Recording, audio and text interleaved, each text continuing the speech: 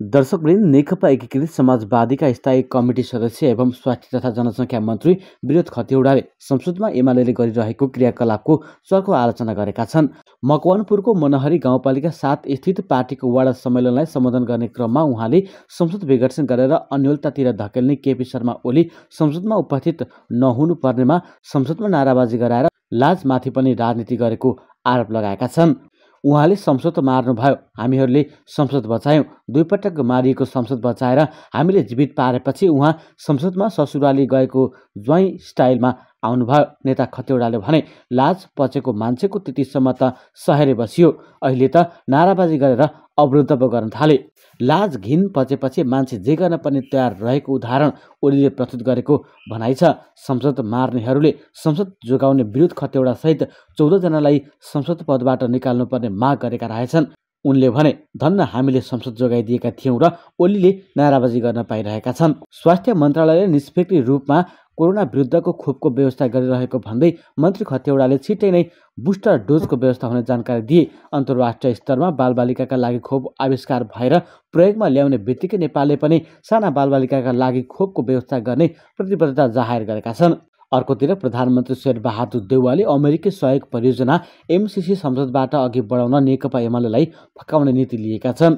एमाले नेतृत्वकै अघिल्लो सरकारले एमसिसी परियोजनालाई संस्थाद्वारा अघि बढाउने तयारी गरिरहँदा राजनीतिक घटनाक्रममा फेरबदल भएको निष्कर्षसहित प्रमुख सत्तारूढ दल नेपाली कङ्ग्रेसका सभापति समेत रहेका प्रधानमन्त्री देवालले एमालेलाई पनि एमसिसीमा सहमत गराएर अघि बढ्ने नीति लिएका हुन्। दर्शक नेकपा माओवादी केन्द्रका अध्यक्ष पुष्पकमल दाहालले नेकपा एमालेसँग गरिएको एकता गलत नभएको र फेरि समीक्षा गर्न आग्रह गरेका छन्। आइतबार माओवादीको आठौँ राष्ट्रिय महाधिवेशन उद्घाटन समारोहमा बोल्दै अध्यक्ष दाहालले राम्रो उद्देश्यका साथ एमालेसँग एकता गरिएको बताए। पार्टी एकता गरेर गल्ती गरेका थिएनौँ फेरि आत्मसमीक्षा गरौँ दाहालले भने। हाम्रो उद्देश्य गलत थिएन। यो देशलाई स्थायित्व र समृद्धितिर लग्ने थियो। उनले यस विषयमा समीक्षा गर्न एमाले नेतालाई पनि आग्रह गरे। एमाले नेता र कार्यकर्तालाई फेरि आत्मसमीक्षा गर्न चाहन्छु उनले भनेका छन्। उद्घाटन समारोहमा बोल्दै उनले बिहान एमाले अध्यक्ष केपी शर्मा ओलीसँग फोनमा कुराकानी भएको पनि बताए। महाधिवेशन उद्घाटन समारोहमा आउन निम्ता गरेको तर काठमाडौँ बाहिर रहेकाले एमाले अध्यक्ष ओली आउन नसकेको दाहालले भने महाधिवेशनबाट माओवादी नयाँ जुस र जाँगरका साथ आउने उनको विश्वास थियो। त्यसका लागि आफूले राजनीतिक दस्तावेजमा निर्मम ढङ्गले आत्मसमीक्षा गरेको उनले बताए दाहालको राजनीतिक प्रतिवेदन माओवादीको बन्द सत्रमा प्रस्तुत गरिनेछ। शान्तिपूर्ण राजनीतिमा आएपछि विचार सङ्गठन संरचना निर्माण रणनीति कार्यनीतिका सम्बन्धमा हामी कहाँ चुक्यौँ दाहालले भने राजनीतिक दस्तावेजमा मैले आत्मसमीक्षा गरेको छु आफैलाई चिरफार गरेको छु। महाधिवेशनमा सबैले आत्मसमीक्षा र आत्ममूल्याङ्कन गर्नुपर्ने उनको भनाइ थियो। सबैलाई उत्प्रेरणा दियोस् भन्ने उद्देश्यले गम्भीर आत्मसमीक्षासहित जनतामा प्रस्तुत हुने गरी महाधिवेशनमा प्रस्तुत हुनेछौँ। दाहालले भने आइतबार सुरु भएको माओवादीको आठौँ राष्ट्रिय महाधिवेशन तिन दिनसम्म चल्नेछ। महाधिवेशनबाट नेतृत्व चयन हुने भएको छ। यसअघि प्रथम राष्ट्रिय सम्मेलनका लागि भनेर देशभरबाट प्रतिनिधिहरू आइरहेका थिए। कमलाधिस्थित नेपाल प्रज्ञा प्रतिष्ठानको सभा हलमा उद्घाटन समारोहको सबै तयारी भइसकेको थियो। तर शनिबार साँझ माओवादी केन्द्रले स्थायी कमिटीमा एकाएक निर्णय गर्यो। राष्ट्रिय सम्मेलनलाई आठौँ राष्ट्रिय महाधिवेशनमा रूपान्तरण गर्ने। यो निर्णयले सम्मेलन स्थल र आसपासमा टाँगिएका ब्यानरहरू सबै काम नलाग्ने भए प्रतिनिधिको कार्ड परिवर्तन गर्नुपर्ने भयो। आयोजक मूल व्यवस्थापन समिति रातारात तयारीमा जुट्यो। ब्यानरहरू फेरि प्रतिनिधिहरूको नयाँ कार्ड छापियो। राष्ट्रिय सम्मेलन भएकाले माओवादी केन्द्रले भाइचारा सम्बन्ध भएका अन्तर्राष्ट्रिय दलहरूलाई मात्र होइन देशभित्रकै दलहरूलाई पनि बोलाएका थिएन। महाधिवेशन गर्ने भएपछि दलहरूलाई बोलाउने तय भयो। नेकपा एमालेका अध्यक्ष केपी शर्मा ओलीलाई माओवादी केन्द्रका अध्यक्ष पुष्पकमल दाहाल प्रचण्ड आफैले फोन गरे। अरू दललाई पनि महाधिवेशनको निम्तो दिइयो यो सँगै नेकपा माओवादी केन्द्रको राष्ट्रिय महाधिवेशनमा नेकपा एमालेका अध्यक्ष केपी शर्मा ओली अनुपस्थित हुने भएका छन्। ओलीले आफू झापामा भएकोले आउन नसक्ने जानकारी अध्यक्ष प्रचण्डलाई गराएका हुन्। अध्यक्ष प्रचण्डले उद्घाटन समारोहमा निम्तो गर्न ओलीलाई फोन गरेका थिए तर ओलीले आफू आउन नसक्ने र महासचिव शङ्कर पोखरेललाई पठाउने बताएको प्रचण्डका स्वकीय सचिव रमेश मल्लले जानकारी दिए।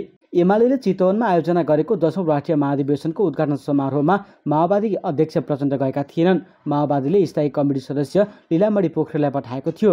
माओवादी केन्द्रको आठौँ राष्ट्रिय महाधिवेशनको उद्घाटन तिन बजे भएको छ। उद्घाटन समारोहमा सहभागी माओवादीले काङ्ग्रेस एमाले सहित एघार राजनीतिक दलका नेतालाई निम्तो दिएको थियो। यसअघि माओवादीले राष्ट्रिय सम्मेलन गर्ने भनेको थियो तर अन्तिम समयमा राष्ट्रिय सम्मेलनलाई महाधिवेशनमा रूपान्तरण गर्ने निर्णय भएको हो।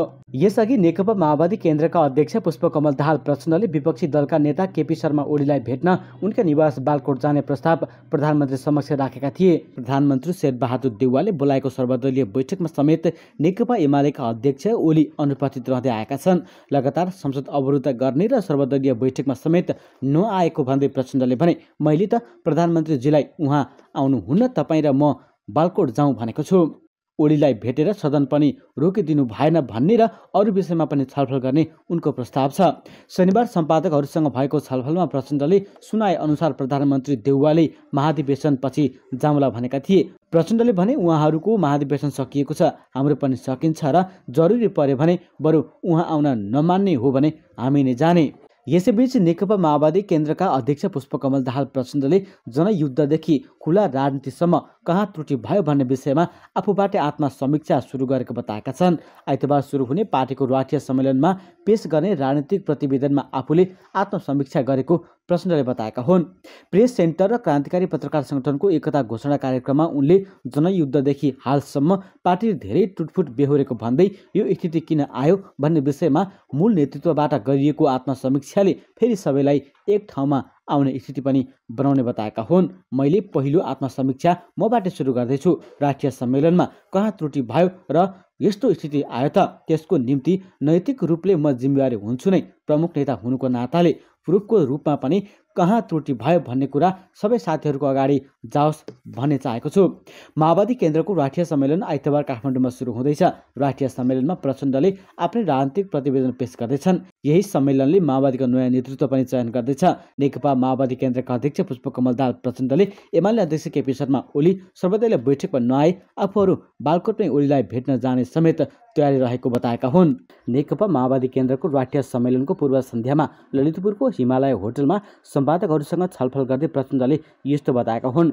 उनले एमाले निरन्तर संसद अवरोध गरिरहे। एमाले अध्यक्ष ओलीलाई भेट्न उनको निवास बालकोट नै जाउँ भनेर प्रधानमन्त्री एवं काङ्ग्रेस सभापति शेरबहादुर देउवालाई प्रस्ताव गरेको प्रचण्डले बताएका हुन्। सम्पादकहरूको छलफलमा प्रचण्डले भने ओली सर्वदलीय बैठकमा नआए हामी बालकोट जाउँ भनेर देउवालाई भनेको छु। उहाँले महाधिवेशनपछि भन्नुभएको थियो आवश्यक परे जानेछौँ। काङ्ग्रेसको चौधौँ महाधिवेशन सुरु हुनु अघि नै प्रचण्डले देउवालाई ओलीलाई भेट्न बालकोट नै जाने प्रस्ताव समेत गरेका थिए। एमाले निरन्तर रूपमा संसद अवरोध गरिरहेको छ। संसदको गतिरोध हटाउनका लागि प्रधानमन्त्री शेरबहादुर देउवाले दुई पटक सर्वदलीय बैठक बोलाएका थिए। तर एमाले भने दुवै बैठक बहिष्कार गरेको थियो। त्यसअघि सभामुख अग्नि सापकोटाले बोलाएको सर्वदलीय बैठक पनि एमाले बहिष्कार गरेको थियो। एमाले आफूले कारवाही गरेका सांसद बैठकमा रहँदासम्म संसद चल्न नदिने बताउँदै आएको छ। नभए सभामुख सापकोटाले माग प्रशस्त गर्नुपर्ने एमालेको माग छ। यस्तै नेकपा एकीकृत समाजवादीका स्थायी कमिटी सदस्य एवं किसान महासङ्घका अध्यक्ष बलराम बाँसकोटाले माओवादी अध्यक्ष पुष्पकमल दाहालले रातारात एमाले अध्यक्ष केपी शर्मा ओलीसँग साँठगाँठ गर्न सक्ने बताएका छन्। ताप्लेजुङमा आयोजित किसान महासङ्घको जिल्ला स्तरीय भेलालाई सम्बोधन गर्दै बाँसकोटाले दाहालको शैली एकदमै जम्पिङ भएकोले उनको अस्थिर स्वभावलाई विश्वास गर्न नसकिने विश्वास व्यक्त गरेका छन्। एकीकृत समाजवादीको माओवादीसँग एकीकरण हुन सक्छ कि सक्दैन भन्ने कार्यकर्ताको जिज्ञासामा उनले भने माओवादीसँग केपी ओलीले जस्तो हठात कुर्सी उन्मुख भएर हामी एकताको पक्षमा जाँदैनौँ। अहिले पनि माओवादीसँग धेरै राजनीतिक मत भिन्नता रहेको र माओवादीमा अहिले पनि एउटा उग्र वामपन्थीको धङधङी भएको दावी गरे। उता नेकपा माओवादी केन्द्रका अध्यक्ष पुष्पकमल दाहाल प्रचण्डले नेकपा एमालेको धाक धम्की आउँदो चुनावमा देखिने बताएका छन्। शुक्रबार पार्टी एकता घोषणा सभालाई सम्बोधन गर्दै प्रचण्डले सो कुरा गरेका हुन्। उनले एमाले अध्यक्ष केपी शर्मा ओलीलाई लक्षित गर्दै ओलीसँग खेल्ने दुस्साहस गरेकाले बालुवाटारबाट बालकोटो पुगेको बताए। एमाले धाक दिँदै हिँडेको भन्दै प्रचण्डले उनीहरूको हालत जनताले चुनावमा देखाउने बताए। उनले भने आगोसँग खेल्न दुस्साहस नगर्नु उचित हुन्छ भनेको थिए। के भयो आगोसँग खेल्दा र बालुवाटारबाट बालकोट भयो। छवटै प्रदेशबाट मुख्यमन्त्री चट भयो। अहिले बढी धाक धम्की लगाउँदै हिँडेको भन्दै उनले भने धाक धम्की लगायत दिएर हिँडेका छन्। उनीहरूको त्यो धाक धम्की मात्रै हो। आउने चुनावमा देखिन्छ।